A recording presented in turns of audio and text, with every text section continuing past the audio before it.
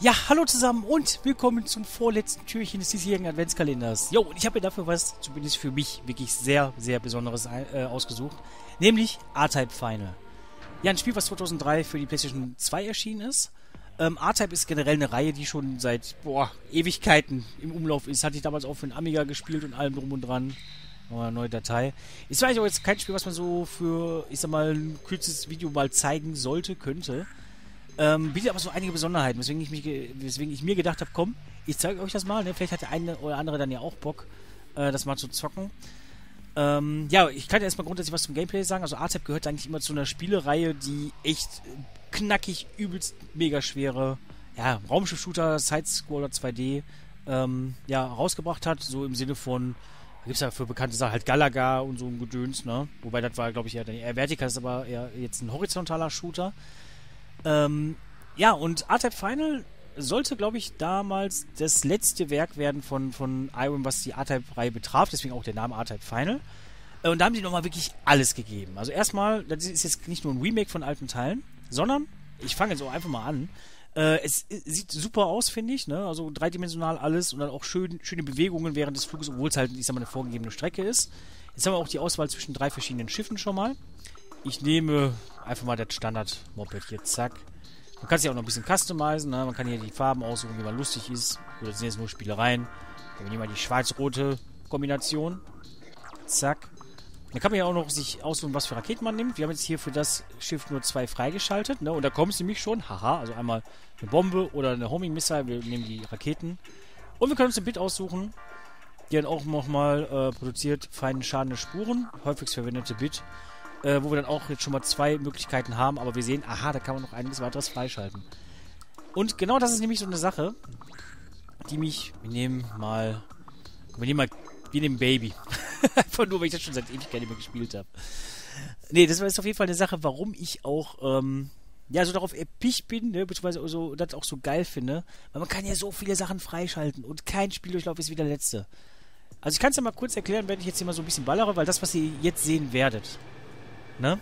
Das, was ihr jetzt ganz normal sehen werdet, ist einfach nur stumpfsinnige, mehr oder weniger stumpfsinnig, ist natürlich auch Ansichtssache, äh, Ballerei. Ne? Also von links nach rechts, äh, bisschen schwierig, hier und da muss man mal ein bisschen aufpassen und alles. Generell von der Spielgeschwindigkeit ist es relativ langsam für ein Spiel dieses Genres. Ich kann erstmal nochmal zeigen, was wir alles können. Wir haben einmal unseren normalen Schuss. Ich finde, das sieht schon so geil aus, diese Partikeleffekte und so, ne?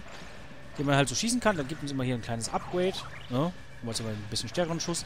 Wir haben dann auch die Möglichkeit, unseren Schuss aufzuladen. Ich habe bis zu drei Stufen. Oder bis zu zwei Stufen. Das ist auch immer vom Schiff abhängig. Hier so zum Beispiel kann man die fetten vier gut kaputt machen. Foms. Und dann haben wir auch noch die Möglichkeit, mit Hilfe unseres Mopeds, was wir da vorne haben. Ah, okay, das ist jetzt schon die höchste Stufe. Ja, super. Wir können das nämlich äh, abschießen. Und wenn ihr jetzt mal nach unten links schaut, sieht man, da steht jetzt Dose 3,9%. Bedeutet im Endeffekt, das Ding ist jetzt zu 3,9% aufgeladen. Und, äh, gut, jetzt zu 6%. Naja, halb so wild. Und das Coole ist an dem Gerät, wir können auch an unseren Arsch bappen, wenn wir Bock drauf haben. Jungs! Ja, hau ab, gerade. Los! Achso, wir haben noch ein zweites Upgrade eingesammelt. Das hier ist übrigens fast schon der beste Schuss. äh, ich, ich, ich muss so viel erzählen, ich kann aber nicht. Jetzt, muss, jetzt weiß ich zum Beispiel, dass die Gegner jetzt von hinten kommen werden, deswegen habe ich das Ding mal nach hinten geballert. Ja, auf jeden Fall diese 17,7%. Wenn wir da 100% erfüllt haben, das heißt, es bringt auch was, ein bisschen riskanter mit der ganzen Geschichte umzugehen. Und, ähm, ja, halt ohne Schutz quasi, weil es sammelt auch die Schüsse eine Gegner, äh, zu agieren. Weil wir dann nämlich irgendwann voll die mega Bombenattacke freigeschaltet haben. Aber natürlich erst, wenn die 100% unten links erreicht sind. Da können wir auch noch schon mal ein bisschen was nehmen. Uh. Achso, okay, die sind jetzt hier in diesem Moment sind sie zwar praktisch, die Dinger, klar. So. 30% haben wir schon mal. So, jetzt kommt's eigentlich, was ich euch erzählen wollte, die ganze Zeit schon. Und zwar gibt es hier natürlich auch Bosse. Bosse sind eh immer geil in solchen Spielen.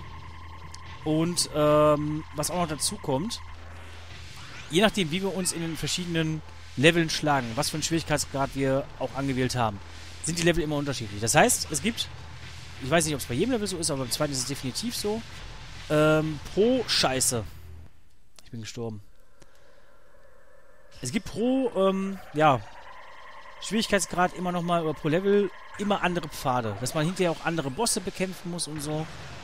Und je nachdem, welchen Pfad man erreicht, gibt es da natürlich noch andere optionale Sachen, die man machen kann. Und je nachdem, was für optionale Sachen man gemacht hat, dafür schaltet man zum einen für die Schiffe unterschiedliche Goodies frei, dass man natürlich jetzt, dass ich dann hier jetzt hier statt dem Ding, was ich jetzt habe, ne, vorne, keine Ahnung, jemand machen kann, was dann pff, den Gegner scannt oder sowas, zum Beispiel. Und, ähm, was auch noch dazu kommt, ist, dass wir auch noch die Auswahl zwischen grundsätzlich 99 unterschiedlichen Schiffen haben, die wir alle freischalten können. Und das war so eine Sache für mich. Alter, für so einen Teil ist unser Ding übrigens aufgeladen. Für so ein Spiel, also für ein Spiel dieser Art, so einen Umfang rauszuballern, wo man so viel Scheiße machen kann und dann echt, egal was man macht, dass es immer irgendwas bringt, äh, das ist echt eine coole Sache. Und vor allem schaltet man dann hinterher Schiffe frei. Dieses Freischalten die anderen Schiffe zwar vereinfachen, aber ähm, grundsätzlich im Kampf echt benachteiligt sind. Also, dass sie dann irgendwie halt solche Scanner-Funktionen haben, wie ich das schon gesagt habe, ne, dass man dann zum Beispiel Hinweise hat über Gegner, die man dann freischalten kann, wodurch man dann auch wieder weitere Schiffe freischaltet. Ähm, dafür haben die aber echt eine Feuerkraft wie, was weiß ich, Wattebauschen oder sowas, ne? Und das ist halt so eine coole Sache gewesen. Es hat so viel Tiefgang, das Spiel. Das wollte ich euch einfach nicht vorenthalten, weil ich kann mir nicht vorstellen, dass das viele Leute von euch, äh, viele von euch überhaupt gespielt haben und überhaupt kennen. Und überhaupt gereizt äh, hat. Also mich reizen solche Spiele eigentlich immer. Ob ich heutzutage noch sowas sehe, dass sowas rauskommt. Ähm, jetzt sieht man auch hier diese vier roten fliegenden Dingern um meinen Moped vorne drum. Bedeutet, okay, die Waffe ist aufgeladen. Ja. Und ich selbst habe noch nie alles von dem Spiel gesehen. Bei weitem nicht. Ich habe das äh, durchgespielt. Ich habe das auf einfach durchgespielt. Ich habe das auf Baby durchgespielt. Und ähm, habe dann immer andere Schiffe genommen, weil um halt mit anderen Schiffen frei, äh, andere Schiffe freizuschalten, das zeige ich euch dann gleich auch noch, äh, muss man halt auch mit den Schiffen eine entsprechende Erfahrung gesammelt haben und so. Und äh, also dann irgendwie, was ich 1000 Gegner töten, irgendwas so in der Richtung. Das ist einfach aus Luft gegriffen gewesen, das Beispiel. Oder eine gewisse Anzahl an Punkten erreichen mit den Schiffen. Ja, und das ist halt einfach eine coole Sache. Das ist aber so viel gewesen, dass ich mir irgendwann gedacht habe, nee, da kriegst du nicht hin. Aber wenn man das von, von Schwierigkeitsgrad zu Schwierigkeitsgrad, man kann da wirklich mit dem allereinfachsten anfangen, dann schaltet man, schaltet man schon genug frei. Äh, und dann halt immer nach und nach die Level dann lernt. Das ist halt echt schon eine richtig geile Sache. Also mir hat das richtig Spaß gemacht, das Spiel. Und da würde ich mir auch echt wünschen, ne? Wenn sie da jetzt nochmal Bock hätten, davon auch nochmal ein Remake rauszubringen. Oder halt, so wie sie es halt dann auch schon des Öfteren gemacht haben für die PlayStation 4. So ein Spiel mit Trophäen. Alter Vater. Ich immer gerade halt für Trophäensammler und sowas, ne? Weil das, das ist dann richtig so, ne, dass man auch belohnt wird für die Arbeit, die man da investiert. Und dass man auch mehr oder weniger gezwungen ist, mit allen Schiffen oder mit den meisten Schiffen auch zu spielen und alle Funktionen mal zu verwenden. Und sowas finde ich immer richtig cool. Weil wenn man mal bedenkt, wie viele Spiele es gibt, wo ich mir zum Beispiel selbst ja auch schon oft genug gedacht habe, okay, du hast jetzt so viele Möglichkeiten und benutzt nichts davon. Ich zeige euch jetzt mal bei dem Boss mal kurz die Dreieck-Attacke. Oh, scheiße. Ganz schön knapp. Ich glaube, wir lesen meinen Schuss. Was? Hat mich denn da jetzt getötet? Das habe ich jetzt nicht gereilt, Entschuldigung. Ah, man kann, stimmt, man kann auch sein, seine Bewegungsgeschwindigkeit anpassen, richtig. Mit L2 und L1, richtig. Das habe ich total vergessen. Stimmt, gab's ja auch noch. Ich wusste doch, weil es kam irgendwie so langsam vor alles. Also zur Steuerung übrigens, wenn man Kreis gedrückt hält, hat man dann quasi so eine Art Dauerfeuer, dass man nicht die ganze Zeit den Knopf zuspammen muss. Mit 4 kann man den Schuss aufladen. Äh, ist ja also eigentlich quasi die gleiche Funktion, nur halt als Ein Einfachdruckgedöns. Mit X schießt man das Ding weg. Mit R1, L, R2 macht man gar nichts. Mit Dreieck macht man seine Superattacke, wenn man sie denn hat. Und mit L1, L2 kann man die Fluggeschwindigkeit des Schiffs beeinflussen. Ich kann mir vorstellen, dass für euch echt alles mega langweilig aussieht, aber ich finde das Spiel echt mega. Sie sich da für eine Mühe gegeben haben, da echt so ein bisschen äh, Inhalt reinzubringen und Content reinzubringen. Das haben sie geschafft, meiner Meinung nach. Und zwar richtig gut sogar. Ja, da kann ich mir dran erinnern. Ich glaube, hier oben bin ich sicher. Ich glaube, hier oben bin ich sicher. Auch wenn einer ziemlich knapp wird. Genau. Der letzte, der ist nämlich fies, der da kommt. Mach auf, das Dingen! Zeig mal dein hässliches Fressbrett. Okay, ja, das ist halb so wild, weil ich habe oben glücklicherweise so einen geilen Bit. Es gibt auch zum Beispiel Bits, die dann auch mitschießen können und so. Und da geht er down. Da geht er down.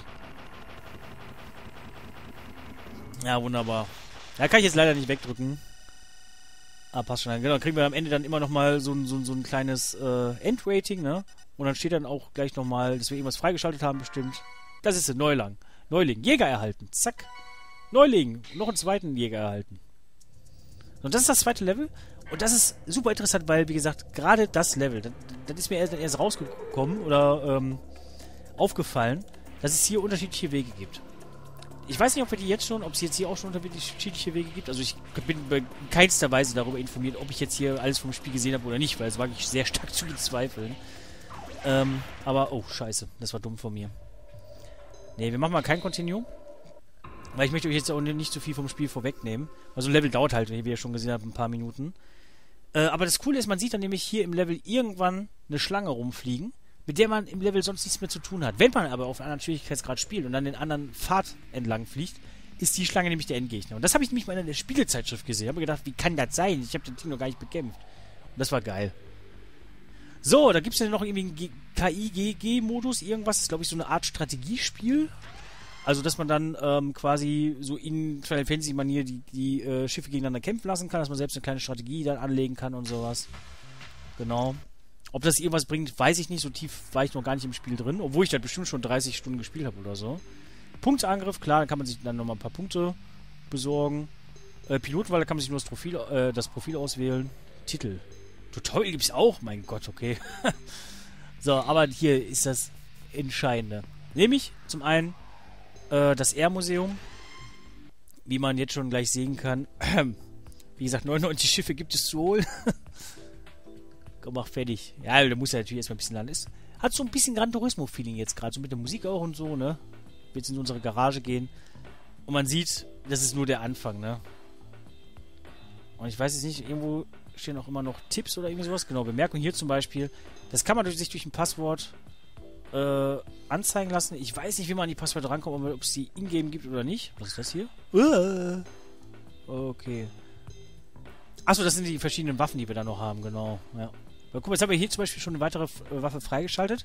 Wir hatten letztes Mal nämlich nur die Tiefenbombe und die zielsuchende Rakete und jetzt haben wir noch die Streubombe äh, freigeschaltet. Weil wir wahrscheinlich ein Schiff freigeschaltet haben, was die standardmäßig mit sich bringt. So, hier zum Beispiel, bestimmte Etappe muss abgeschlossen werden, ne? das ist dann erstmal easy. Kampferfahrung ist erforderlich. Das heißt, wir müssen mit diesem Gerät weiterfliegen, damit wir das dann äh, freischalten können. Hier zum Beispiel auch ein Passwort. Kampferfahrung, Vorgängermodell. Bestimmte Etappe muss abgeschlossen sein. Kampferfahrung erforderlich. Kampferfahrung erforderlich. Und das ist halt so eine Sache, ne? Und das hier ist nämlich ein ganz interessantes Teil, Midnight Eye. Äh, fungiert auf den Ausbasen von zum Beispiel Pluto als Patrouilleneinheit. Der primäre Zweck ist die Datenbeschaffung, daher nur leichte Bewaffnung. Und das ist nämlich genau so ein Ding, mit dem kann man dann halt die Gegner scannen. Und wenn wir das nämlich tun... Ein Moment. Ja, ja. Return to Hunger, auch wenn der Rest deutsch ist. Hier haben wir gerade noch als, als Auswahlmenü das Büdo-Museum, glaube ich, gesehen, oder wie das hieß. Nein. Ja, Menü. ich habe verkackt, es tut mir leid. Es gibt ja auf jeden Fall so viel zu sammeln und so viel Fanservice und ich stehe auf so eine Scheiße einfach. Ist so. Genau, Büdo-Labor. Wo wir dann nämlich die ähm, einzelnen Viecher alle, die wir dann schon kaputt gemacht haben, zum einen äh, gesehen haben. Und unten seht ihr, das ist für mich ja eh immer tödlich, 8,6%. Und ich würde ja eh keine Ruhe geben, bevor da nicht eine 100 steht. Unbemannter Transporter für den Transport von Kristallen aus Kraftenergie, genau. Und da sieht man dann zum Beispiel auch, wenn wir dann nämlich, ähm, ich sag mal, das Spiel durchgeschafft haben, ne? dass sie jetzt zum Beispiel in Stufe 1 sehr viel vorgekommen sind, weil ich das natürlich nur gespielt habe. Ne, und es wird sich dann immer weiter ausbreiten, je weiter ich dann spiele. Die Kristalle sind keine Ziele für die Bido, daher wird die POW-Rüstung niemals angegriffen. Ach, das ist doch gelogen. Für mich sind sie gut. Es gibt halt ziemlich langbeiniger Vogel. Ich will den langbeinigen Vogel haben. Da. Und man sieht auch, ähm, links neben der 13 ist so eine kleine ähm, ja, Fortschrittsanzeige. Ich schätze mal, wenn die voll ist, habe ich dann auch mehr Infos als das Bild, was ich da jetzt sehe. Und auch da sieht man, die laufen da nur im Hintergrund rum. Und genau hier habe ich die Schlange nämlich entdeckt gehabt. Richtig, richtig. Oh, da kriege ich auch richtig Gas, jetzt das Spiel zu spielen. So eine Scheiße. Oh Mann. okay, ich höre jetzt hier auf. Nee, auf jeden Fall wollte ich euch nur das Spiel auf jeden Fall mal vorstellen. Ich finde es mega geil. Ich habe jetzt direkt wieder Bock bekommen, die Scheiße hier fertig zu machen. Man hat natürlich noch andere Stud äh, Statistiken. Aufzeichnung des Krieges, das ist dann Spielzeit und sowas wahrscheinlich. Und ich finde es einfach super. Die müssten davon ein Remake rausbringen. Belobigung anzeigen. Ach so, hier. Genau, Etappe 1.0 entdeckt und dann sind da zwei, komischerweise zwei Sachen nämlich frei. Und dann habe ich nämlich die 2.2 entdeckt, Etappe 2.2. Ne? Und es gibt dann also auf jeden Fall noch ein 2.1, vielleicht noch ein 2.0. Und da gibt es so viele andere Scheiße. Ja. Ich find's gut. Ja, ich hoffe auf jeden Fall, euch das Spiel auch ein bisschen gefallen. Vielleicht habe ich den einen oder anderen ja dazu veranlasst, ähm, sich da mal in das Spiel reinzugucken. Ich denke mal, es wird es auch im PlayStation Store geben, ne? Äh, für wahrscheinlich einen Fünfer oder so. Auch auf Ebay habe ich geguckt. Ähm, also jetzt nicht geguckt, aber ich habe das Spiel noch gar nicht so lange in meiner Sammlung. Ähm, also habe ich mir jetzt noch vor ein paar Monaten nachgekauft. Der war auch nicht teuer. Ich weiß nicht, 12 Euro oder so. Hielt sich also auf jeden Fall in Grenzen. Und die Spielzeit, die das Spiel bietet, ne? Und das ist ja auch trotzdem eine Sache. Das kann man mal reinlegen, ne? Ich glaube, man muss das nicht am Stück durchspielen. Das sind, glaube ich, auch nur sechs oder sieben Missionen, halt in zig Variationen dann, ne? Ähm, aber es kann man dann wirklich mal so zwischendurch mal reinballern und so und dann einfach ein bisschen, ein bisschen die, die, die Monster erforschen weiter, ne? Oder dass man hinterher auch gezielt sagen kann, okay, ich nehme jetzt mein Erkundungsschiff äh, und mache genau dich jetzt fertig. Ne? Oder dass man dann hier und da mal ein Level spielt oder hier ein bisschen KI-Gegenmodus spielt. Ja, ich finde, das bietet einfach so viel Inhalt, so viel Tiefgang. Ähm, auch einen leicht philosophischen Aspekt mit den anfänglichen Sätzen, immer weil man sonst eigentlich nicht viel über die Geschichte erfährt.